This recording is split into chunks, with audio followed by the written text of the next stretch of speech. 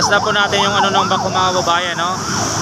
Ayan, nakalaylay na po ang kanyang ah, bako. Ayan. Pagmasdan po natin mga babayan kung ah, anong gagawin, no?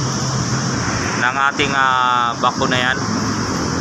Pagmasdan lang po natin mga babayan.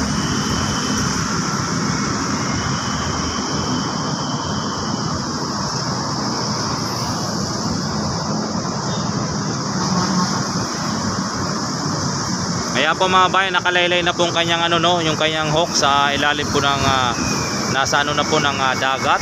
Ayan. Subaybayan lang po natin kung anong ah, ginagawa no.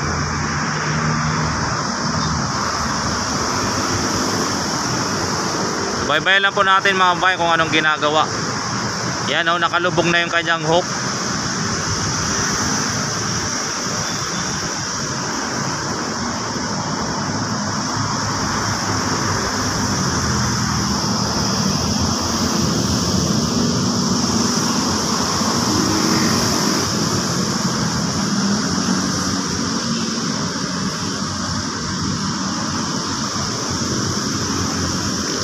Kaya pagmasdan lang po natin mga kababayan. Nakalubog na po sa dagat yung ah, ano.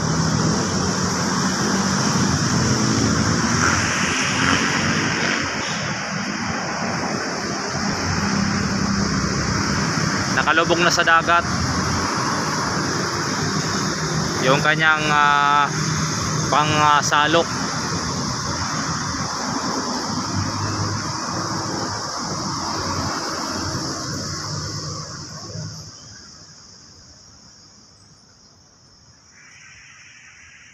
Ang ating ano, gray sand ay ah, ano na po ang ating gray sand, may tapyas na. Ah, lalaki ang mga bato dito oh, sa gilid oh.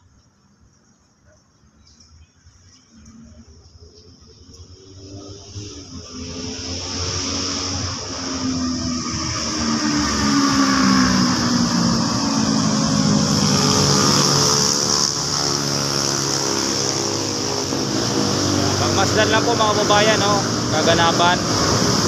Yan, happy happy watching. Ayan, mayroon pala sila no sa ilalim no, may dalawang tao no na nagsisisid. Mga kababayan.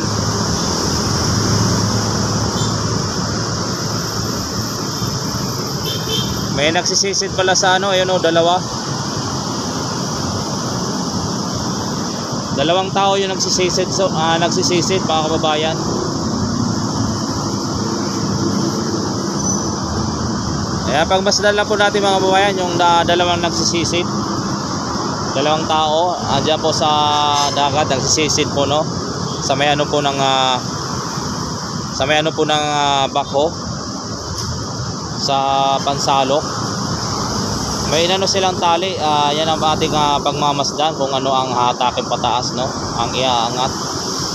Kasi may inanong sila na tali.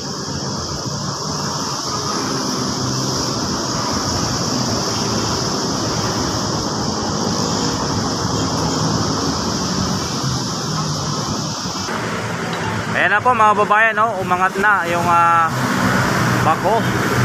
Ayun, yung bakal pala yung ah, inano nila, no? tinalian.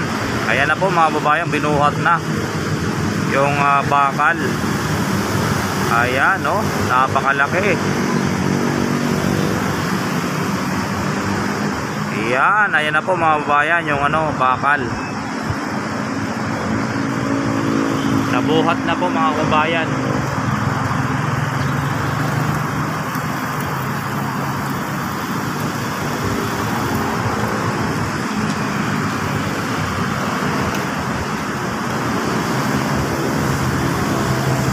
Yan, yan pala ang ano, ah, yan pala yung ah, linagyan ng tali mga babayan, no? Ayan oh, binuhat na po oh, yung bakal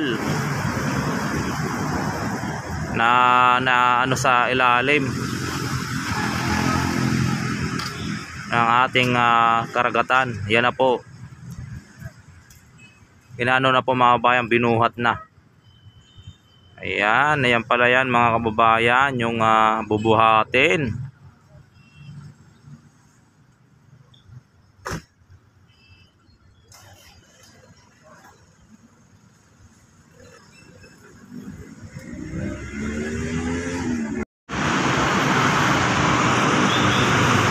Ayan po mga bayan no. Ang ah, pagano po ng ating ah, sa Isabel Uno at uh, buhat-buhat pong kabakal. Yung uh, pinag-ano po sa pagbuhos po ng uh, Grayson mga bayan. At ang ating ah, mga workers no? Ando po naka ano no? Yung mga naka-orange po mga bayan no? At ang ating bako ay naka-steady po sa taas po ng ating Isabel Uno mga kababayan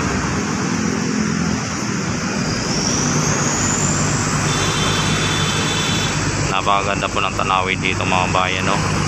At naglalaki ang mga birds doon sa unahan no? Sa may ah, ginagawang ah, isla no? The Horizon Manila mga kabayan. So niya po mga bayan ayun no? Aakyat na po ang ating mga workers doon sa ating birds na galing dito sa ating Manila Biwok na tumawid doon papuntang Isabel Uno mga kabayan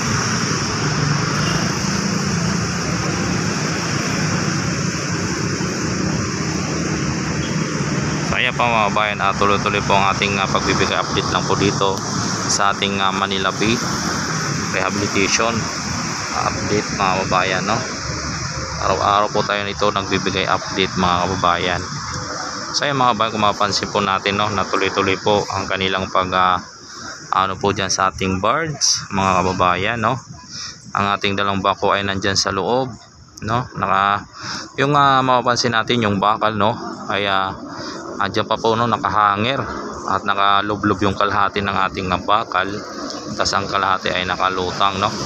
Yan po ay ipapatong diyan sa dalawang ah, ano na yan, ah, dalawang bakal diyan na naglilitaw din ng mga kwadradong bakal. Diyan yan ipapatong mga ma- mamaya na bakal na yan ng mga ah, pinag-aanoan po sa pagbuhos ng ating gresan mga bayan.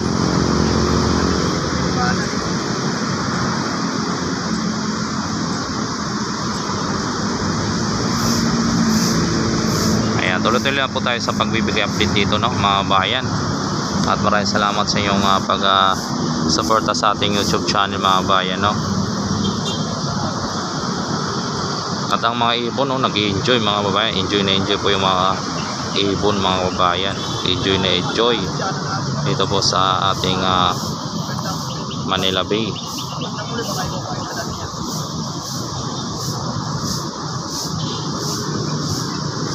Ayan, yun po ang ating iba na ano no. Gaano po sila sa bako no. Ayan. Mga busy-busy, mga po ang ating mga workers doon sa loob ng Isabel Uno. Yung mga driver po ng ating bako mga kababayan.